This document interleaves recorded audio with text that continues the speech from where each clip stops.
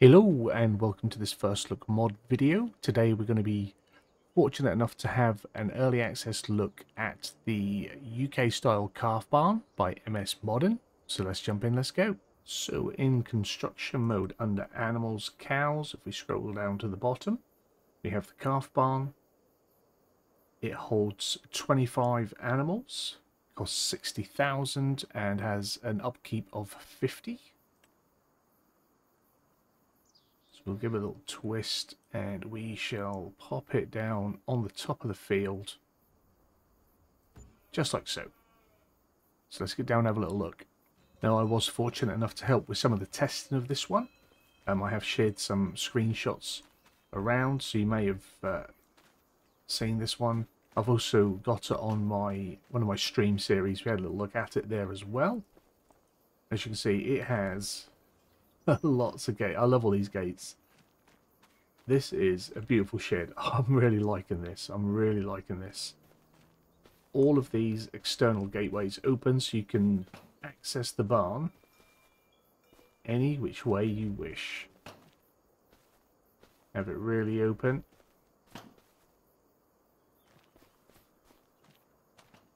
Full access to the barn. The internal gates don't. They are for feeding. They stay as they are. As you can see, we've got our feed trigger there. We'll have a little uh, look around the outside as well. So, beautiful textures. Again, I like the, the old wood. I like that it's used and not brand new and shiny. The concrete slabs. We've got our slurry point here, we can collect our slurry. Around the back, the reinforced beams. We've got the uh, the netting as well. Nice and airy in there. Good airflow.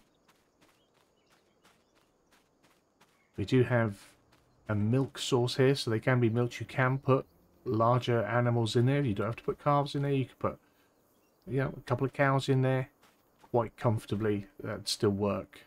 But it is designed to be sort of a calf rearing shed. Maybe a mother and calf, a couple of mothers and calves in there. But really, really nice. You can produce manure. manure? You can produce manure. Thinking about the cows. You can produce manure but you'll need to put down a uh, manure silo. But we have um, water that is uh, pumped in as well so that's automated. Our animal trigger is down here.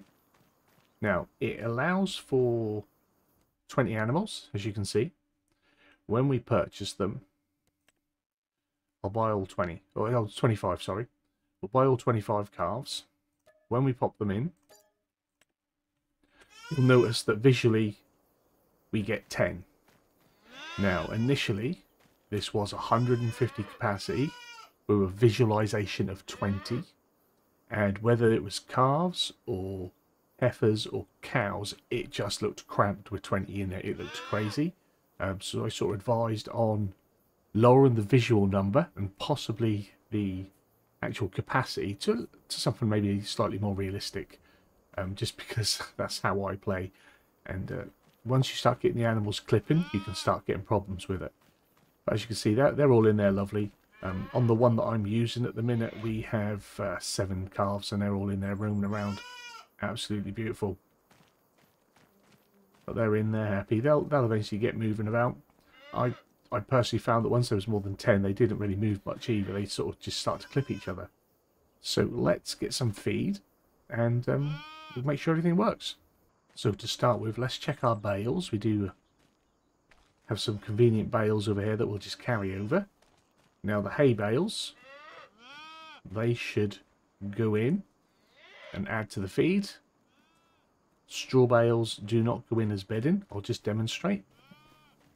I say that, that might have been updated since uh, the last version, so you never know. That's why we look. Even though we've tested, things change. So if I pop that down, bale doesn't go in for bedding, you have to shred for bedding. So bring that out of the way. Helpless on the farm today, we have our 135. Get some feed in there. So trigger's pretty simple once you come in, unload. We'll get that in there for them.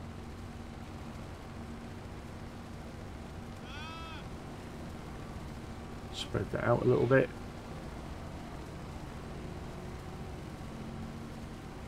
You see that goes in there really nice.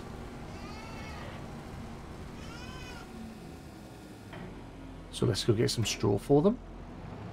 And we're going to go for a convenience fill for this one. Normally I would use the straw blower. But since we've got this to hand, we've just popped some loose straw in here. And as you can see, we can fill in the straw.